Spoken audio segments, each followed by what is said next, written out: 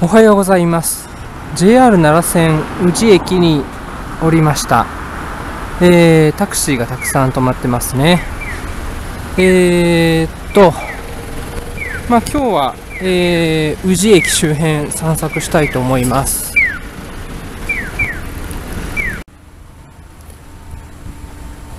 まあ黒々としたお店があって、えー、観光地って感じですね。まあ観光地だから来たのではなくて、えー、たまたま降りた駅が観光地だったっていう、そういうことなんですね。まあ。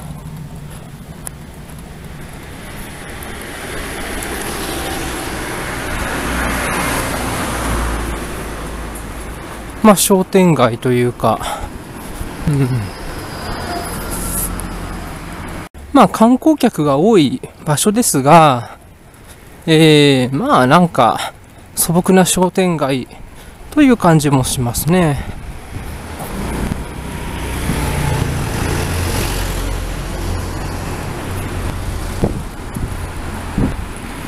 まあこのお店の看板なんて名誉冠えー、名誉あるものは冠をかぶるって感じかな。名誉ってのは自分では作れないんですねだって他の人がいいねいいね素晴らしいね最高だね名誉あるねみたいな感じで言ってもらわないと名誉にならないでしょだから、えー、無人島で一人で生きてる人っていうのは名誉を得ようがないんですね。うん。だからなんかその自自力ではどうしようもないんですよ。どんなに素晴らしい作品、歩行動画やっても、えー、それを評価する人がいるかどうかっていうのは自分の問題じゃないからね。なんかさ、小学生の時に、あの、今、富とか、名誉ならば、いらないけど、翼が欲しいって歌あるじゃないですか。なんかそれ聞いて、なんか自分は富は欲しいけど、名誉はいらないなと思いましたね。必要なのは名誉じゃねえと。富だと。うん。で、無人島に一人にいても富ってのはある場合があるんですね。たくさん食べ物があって、えー、楽しいことたくさんしてたら、まあ、豊かなのかな、みたいな。うん、富は自力でどうにかなるかもしれない。でも名誉は自分の力では、自分の力の問題じゃないんだよな。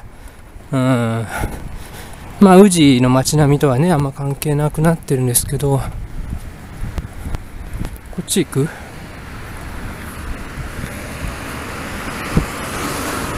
あ？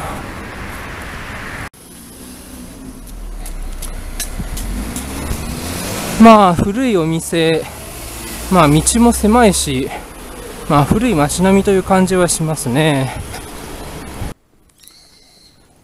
まあやっぱ木造家屋が多い一帯ですね。一帯ですね。発音がちょっと。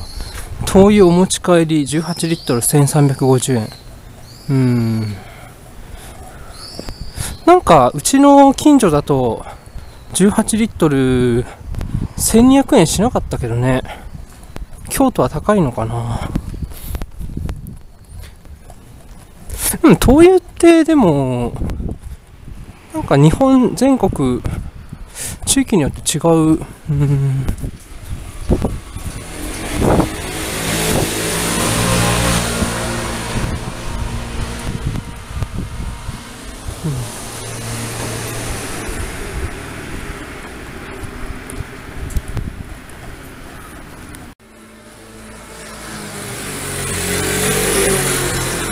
まあ、こういう看板っていうのは何書いてあるんだかよくわかんないのがミソですよね。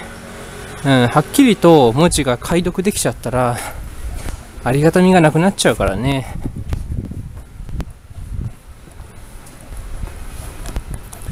うん。中村名茶10。これなんかマークですかね。えー、家紋みたいな。うんあ皆さんは自分の家の家紋知ってますか？代々受け継いできた家紋というものを大事にしなければいけませんよ。私は全然大事にしませんが 私は家紋なんかね、あの、家紋、いや、うちの家紋さ、いらないんで、10円で売ってあげるよ。いらないから。うん。1円でもいいけど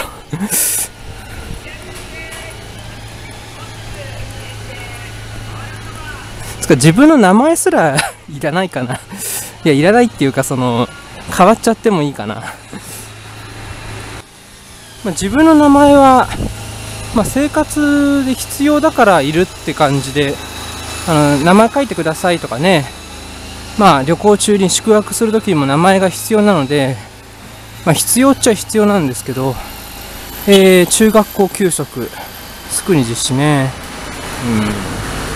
いや、私は、給食反対ですけどね。なんかさ、給食って、あのー、なんか全員同じものを食えっていうさ、なんかその、みんな同じでなければいけないっていう、なんかそういう価値観を、えー、強制してる感じがするんだよね。まあわかりますよ、その、給食安いし、あのー、経済的に貧しい家庭にとってはありがたいものだと。でも、でも金持ちの人が別に豪華な食事をしてたところで別に貧乏な人が困るわけじゃないからね。うん。だからその貧乏な人にその給食を支給するってことはやるべきだと。でも、その横でめっちゃ金持ちのね、あの、花輪くんみたいなちびまる子ちゃん出てくる花輪くんみたいな子が、あの、めっちゃ豪華な昼ご飯食べてたとしても、別にいいよねって思うんですよ。そこ別に平等にする必要ないじゃないですか。うん。不平等でもいいんですよ。うん。まあ、うちの平等院ってのありますけど、うん。まあでも、私は別に平等である必要ないかな。ねえ、絵本と木のおもちゃ、キッズいわき。楽しそうですね。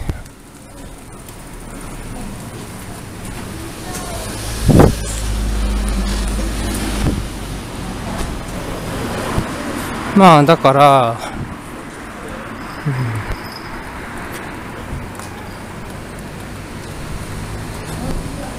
だから給食やってもいいけど、えー、全員に強制すんなって感じかな。あ、だからさ、宇治の街並みで例えてもいいんだけど、あの、貧乏そうな家もあれば、超豪華な家もあるでしょでそこでさ、貧乏な家もあんだからさ、みんなさ、貧相な構えにしましょうよっつってさ、そんな豪華な建物建てるの禁止とかしていいんですかって話なんですよ。でそこを平等にする必要ないよねっていう。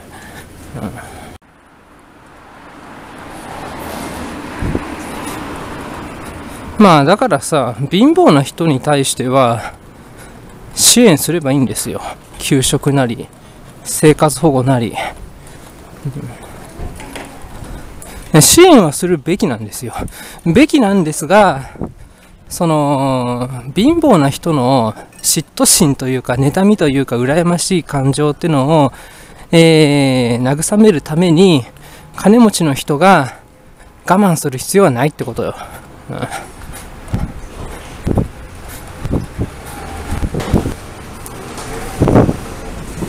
まあなんかうちの街並みってあのー、建物と建物がくっついちゃってますよね。うん、こうやってなんかこう、窮屈にさ、いろんな建物がご、もう、隙間がない。笑っちゃうぐらい隙間がないよね。まあ一心同体ってことですよね。僕と君とはくっついていて、運命共同体みたいな、まあ窮屈ですね。精神的にも。ああ。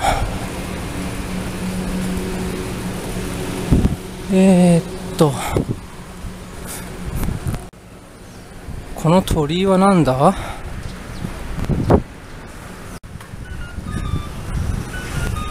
世界遺産平等院正門。うん。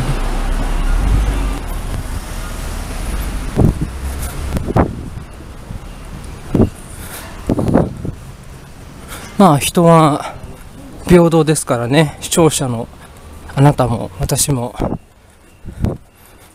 うん、もうこの辺りも本当に観光地って感じですね。観光客にこびるかのような店構え。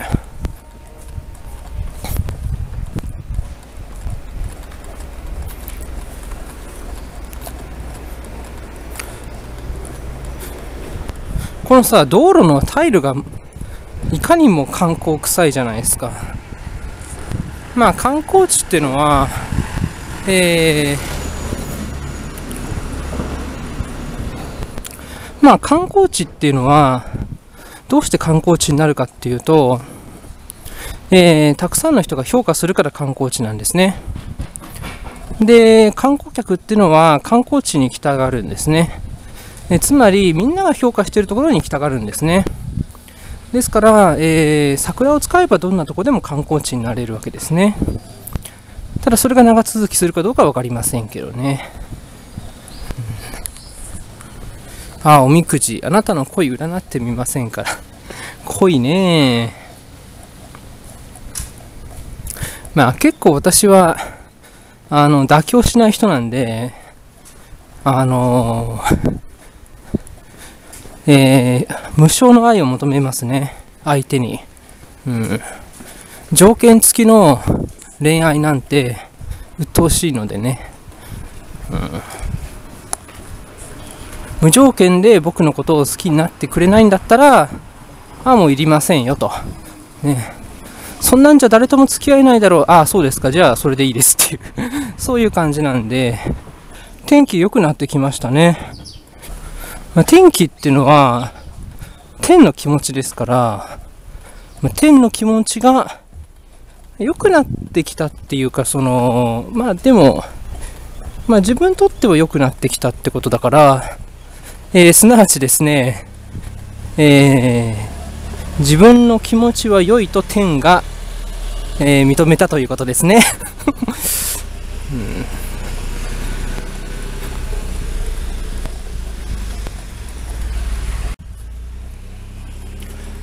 この階段は、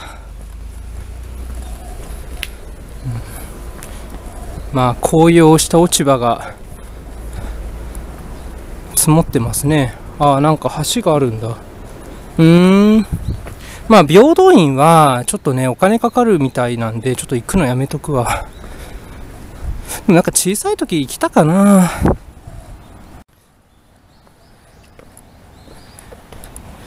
なんか小さい時家族旅行で、この辺り来たような気がするんですよ。伏見稲荷大社も行きましたし、えー、京都とか奈良とかね、うん、まあ、うちは旅行行くにも、あのー、めちゃくちゃね、えー、伝統的、あの、伝統的 えー、地域を巡るというかね、うん、ガチ伝統主義なんでね、旅行といったら京都奈良が基本であろうがっていう。そういう感じなんで、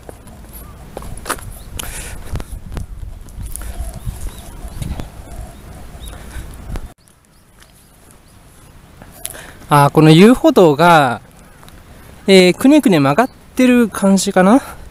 このさ、タイルがさ、まっすぐにこう、ね、伸びてるわけじゃないんですよね。こうやってこう、曲がってる。曲がったとこにこう木を立てて、だからその、まっすぐにしちゃうと、なんか風情豊かな遊歩道って感じにならないから、あえてこうぐねぐね曲げてるんですね。だこういう細かい工夫がね、大事なんですね。うん、こういう一つ一つの細やかな、細やかな、えー、小細工がですね、えー、無意識のうちに、えー、人々に、うん、楽しさを与える。うん。まあ、これ木とかね、えー、こう支えられてますけど、これ自立できてないっていうことですね。自分の力で立てないんだから、こうやってね、支えてもらってるわけでしょあ、自立してないんですね。うん、赤い橋ですね。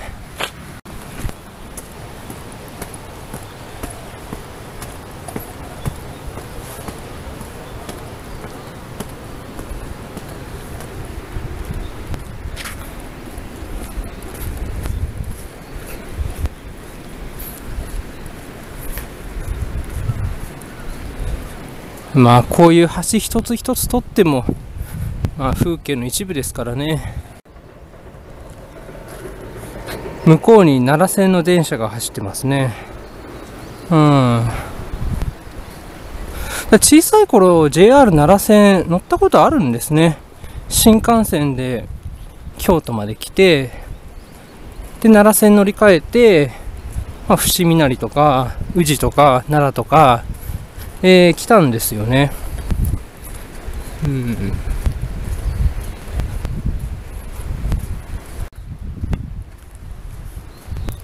まあ、小さい頃は、まあ、旅行で観光地巡るっていうよりも、ホテルに泊まるのが面白かったんですよ。ホテルとか旅館とか、いつもと違うところに泊まる、いつもと違う、えー、建物の中で寝るっていうのがね、うん、なんかすごい非日常的な感じで、面白いなって思ってましたね。まあ今の自分は宿泊施設にはこだわりはないんだけど、ただ、まあ、宿泊施設にこだわる旅行、えー、泊まることを目的にする旅行ってのも、あのー、極めれば、うん、なんていうのかな。なんかいわゆる、なんか大江戸温泉とかさ、その温泉ホテルとかさ、まあ、あれってもう、そのホテルそのものが観光施設みたいなね。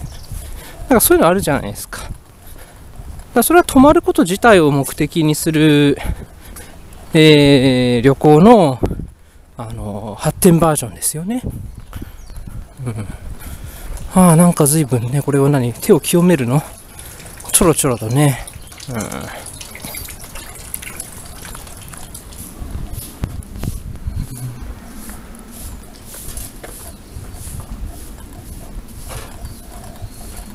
京都名茶京都府産業会館？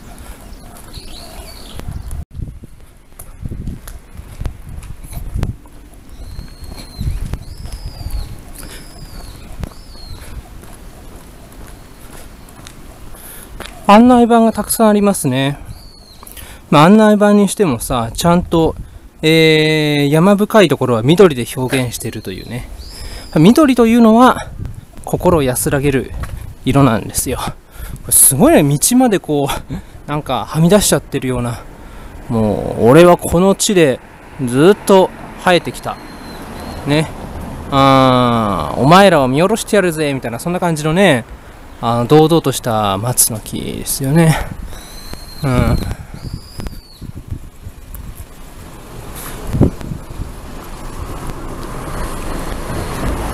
でもさ、あの、邪魔だと思ったら、バサバサ切っちゃっていいと思うんですよ。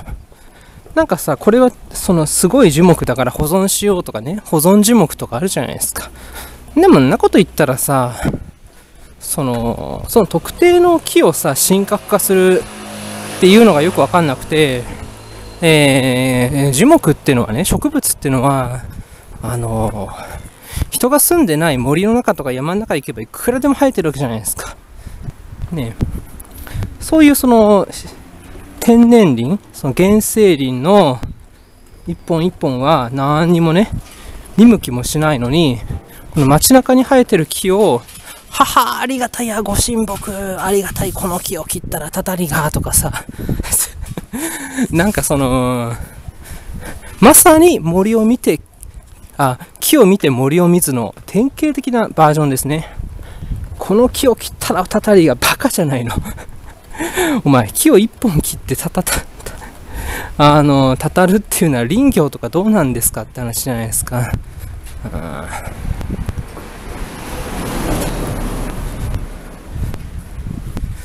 もう木なんかどうでもいいんですよ。森が大事なんですよ。最近歩行動画では、えー、目の前の風景とは関係ない話をよくしてますけど、これはね、やっぱり森を見るっていう、そういう理念に基づくもので、あのー、目の前の現実こそが大事なんじゃないと。うん、なんかその一般的な何かがあるっていうね、例えば茶、団子、ね、お茶のお店ね、うん。まあお茶も大事なんだけど、お茶とは何か、函館市場？函館ですか？はは、函館。はるばる函館。えー、京都とか宇治じゃなくて函館ですか？なかなかダイナミックな話ですね。そしてそこが京阪電鉄の宇治駅ですね高級食パン専門店。ん？高級食パンか。大人はずるいと思いませんから。あのー、大人はずるいと思う。これお店の名前なの？あお店の名前なんだ。高級食パン専門店。大人はずるいと思いませんからって。へえ面白いね。うん。あのー、皆さん大人ずるいと思います？いやてかね大人はずるいかどうかって聞かれるとうーんどうなんだろうってさちょっと考えたくなるでしょ？でそのさ考えさせるっていうその考える欲をかきたてるっていう見事なネーミングですよね。実際ずるいかどうかっていうことじゃなくてさあのー、例えば電車ってかっこいいと思いませんか？ってていう風に聞かれても、あんま面白くないんですね。かっこよくてもかっこよくなくてもどっちでもいいというか、あの別にどうでもいいじゃんってなるんですよ。ねえ、京阪ってずるいと思いませんか？って言ってもさ、うん、なんかあんまり、ねえ、えー、JR と比べて京阪ってずるくない？うん、だって JR 西日本は、あのーまあ、奈良線とかはお客さんたくさんいるけど、中国地方とか、えー、北陸とかさ、お客さんが少ない地域の、えー、列車も運行してる。うん。だから、経営としてはさ、大変ですよね。うん。ですが、京阪は、京阪、つまりその京都、大阪、大都市を運行してるから、えー、まあ、結構固定客がたくさんいるというかさ、うん、だから人口密度の高いところを運行してるんですね。だから経営的に楽じゃないですか。ずるい、ずるいじゃないですか。うん、でずるいんだけど、でも、あんまりその、うん、なんかそれを問うことがさ、あんまり面白くないというかね。うん。で、これ、宇治橋ですね。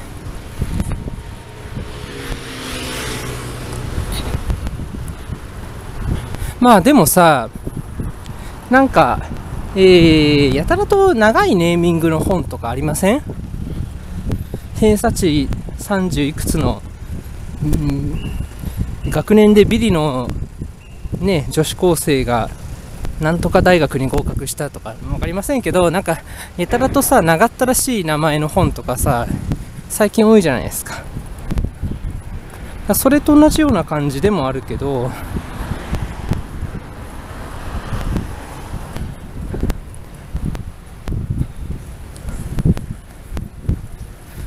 大人はずるいんじゃないかってさなんとなく思ってるわけですよね人々は。ずるいっていう風に、うん、言い切ることにもなんかちょっと抵抗あるというかあのー、なんかモヤモヤが残ってるわけ。そこをついてるわけですね。お電車が通りましたね。橋を渡ってる時に電車が通るというね。このナイスタイミング。これナイスタイミング、これあの、計算だと思いますか？いやこの時間帯にこの場所を歩けば電車が通るよと、えー、計算づくで歩行動画を撮影している。うん。というわけでもないんですけどね、うん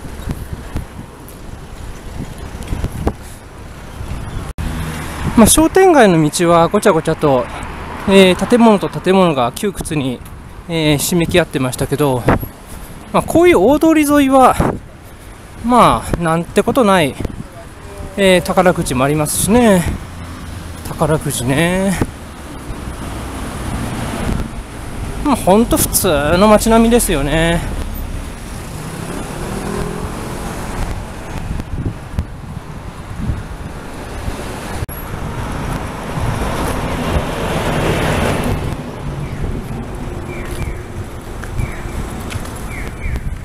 まあ京都銀行。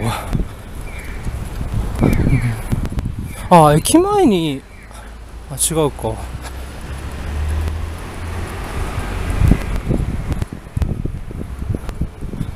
まあ JR 寺駅戻ってきました。えー、ご視聴ありがとうございました。あまた曇ってきちゃった？空ってずるいよね。天ってずるくないですか？